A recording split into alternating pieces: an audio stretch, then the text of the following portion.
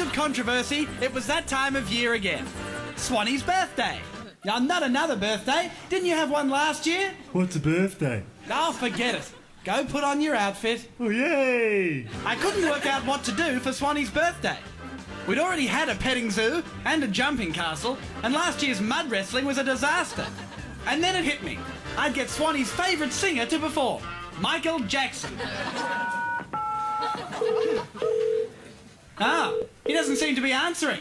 Gee, I hope nothing's happened. Meanwhile, the Silvertail was trying to get back in people's good books by going to join the boys in Afghanistan. But he couldn't even get through the training.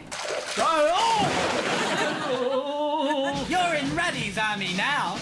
With the Silvertail taking himself out of the game, it was time for me to celebrate and go on my old favourite show, Rovey. I was hoping Rovey would be in his little penis suit, but he only wore that for Bruno.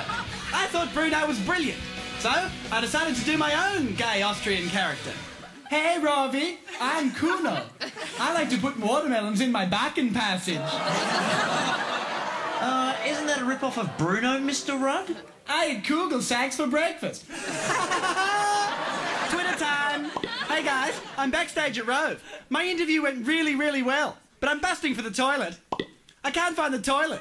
I guess I'll just go up against this wall. Hey, has anyone heard from Jacko?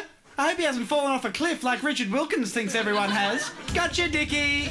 My gay Austrian character was a hit, and I had to stay in character everywhere I went. Well, little girl, would you like my G-string as a souvenir? And me and my party coordinator Hans came up with the perfect idea for Swannie's birthday. A gay-themed lederhosen party. Happy birthday to you. Enjoy the leather shorts. I sewed a little cock on them.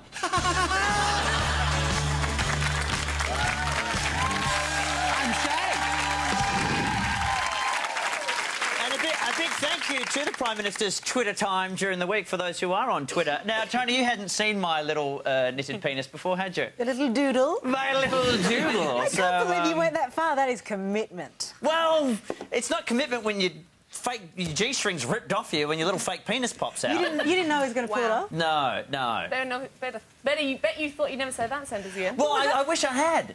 But it's like you've got to be careful of, you know, when you've got a knitted penis, um, read the washing two words you instructions because it's prone to shrinking. Penis. Got to be very careful. All right, we are running drastically over time. Going to take a break. We'll be right back with what we've learned and Short Stack.